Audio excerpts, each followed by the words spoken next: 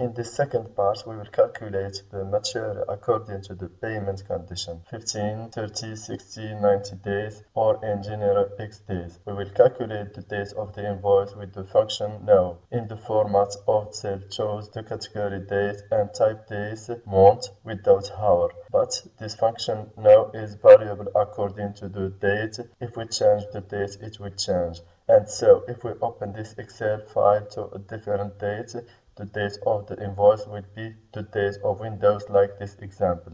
The date of the invoice now becomes August 10, which is not practical. So the best method is to enter the fixed date. We will see how to do it after. Now we will enter the date manually. Normally, the maturity is the date of the invoice plus the number of days. It is an easy addition at first sight of course, is the parts are numbers, but the complexity in this calculation is the first part is a number, date, but the second is a text, 30 days, so it's impossible to add number to a text. To show you this error, first add in the same invoice a field that's called payment condition, preferably before the due date, and apply the formatting of the other fields. The fastest procedure is to drag and insert the field and use the icon to reproduce the formatting and then enter the value 30 days and then we calculate the sum in the due date field equal to the date of the invoice plus payment condition in this case 30 days and that's the mistakes because 30 days each text contains numbers and letters. There are several solutions to this problem. I will address this topic in special course, the extraction of numbers from a text, knowing that in Excel there is no function that does the extraction except the combination of several functions or use of VBA programming in Excel. The first solution is very simple. Rename field payment condition, we add in parentheses days and enter the value 13 without days and this is and that is the calculation of the due date is done very well as you see. But we want to work with the second solution let the addition of the number and text but use the function if. Then the due date equal the date plus if condition equal 30 days between two double quotes. If it is true it takes the value 30 if it is false, it takes the value 0.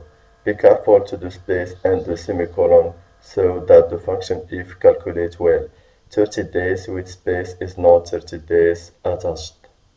And now to not be limited to one condition 30 days, we will implicate several conditions quickly creating in the sheet tables all the conditions that we have in a table payment condition. So we enter 15 days 30 days, 60 days, and 90 days, you can add the number you want, but provided you implicate it in the function if. We will see it in a moment. Create a drop-down list. We suppose you can easily create a drop-down list if you have followed the previous course list and VLOOKUP like that. At each false value 0 implicate a condition. And not waste time. The table of payment terms and the drop-down list is ready as you see. And now I am going to use copy paste to fill the function if. And the same for 15 days. The same then for 60 days. And the same for 90 days. And when you select a payment condition, the due date is easily calculated. So we simply realize the calculation of the due date with a simple and intelligent method without hack your brains with the extraction of number in a text cell. We will see in the following how to select the tax according to the items.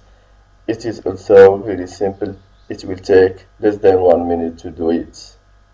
We will add the tax field in the invoice. Now it is different each item to its own tax with of course the format painter to save time. If you want to calculate the amount in the same line you can do it. Well, I calculate the subtotal at the foot of the invoice. In the sheet tables, add a tax column in the article table and enter the values 20%, 14%, and 7%. And then we add the function VLOOKUP for each item to select its own tax. The tax is the third column, it's why I entered 3 in call index number. So we set the VLOOKUP formula in the tax column and change the cell format to a percent. Now we do not have total tax 20% but the total of all tax. We rename the field and then we calculate the sum of tax is the sum of the total line 1 multiplied by tax article 20% and total line 2 multiplied by 14% and total line 3 multiplied by 7%.